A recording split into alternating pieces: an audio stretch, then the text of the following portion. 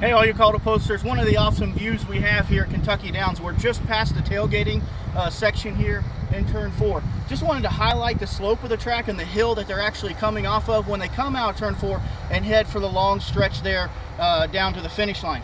Also, in turf racing, you may see them, hey, the rail's set at 10 feet, the rail's set at 8 feet. Here you can see the railing system here at Kentucky Downs. They do have it set out quite, quite a bit away from the inside of the track uh, to start off with.